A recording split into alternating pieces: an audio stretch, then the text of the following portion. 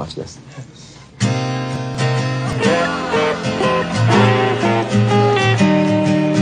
Fathers, be good to your daughters.